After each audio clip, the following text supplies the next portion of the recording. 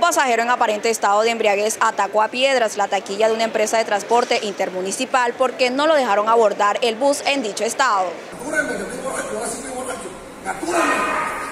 Ahora que deben de actuar, ahora que no cuando uno tiene la razón, ahora sí estoy borracho, ahora sí captúrenme.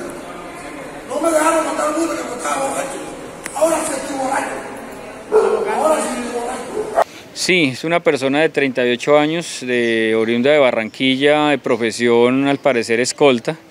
Él es una persona que mm, se desconocen los motivos y se está revisando si al parecer estaba, se, digamos, con temas de, de alcohol, eh, la cual le cometió ahí a la empresa Brasilia en el módulo C de nuestro terminal eh, una serie de daños ahí a las, a las taquillas y obviamente frente al llamamiento, al requerimiento que se hizo, pues acudió el cuadrante eh, y obviamente se le, se le efectúa el registro, la identificación, todo el protocolo de actuación policial y se da con la captura de esta persona, la cual en este momento ya está a disposición de la Fiscalía.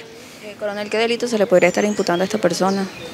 Bueno, ahí estamos revisando el tema de eh, configuración del tema de, daño en bien ajeno y eh, alteración de la tranquilidad del orden público en dicho lugar. Y le estamos revisando obviamente antecedentes, hasta el momento pues no, no le figuran eh, otros antecedentes, sin embargo pues lo importante es que se está dejando ante la Fiscalía.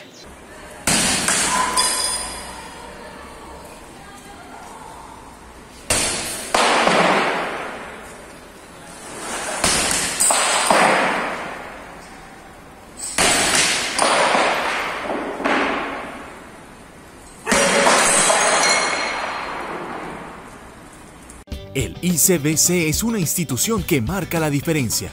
Prestamos servicios como cardiología clínica, cardiología intervencionista, programa de cirugía cardiovascular, hemodinamia, electrofisiología e intervencionismo neurocardiovascular, vascular periférico, métodos diagnósticos destacando cardiología no invasiva.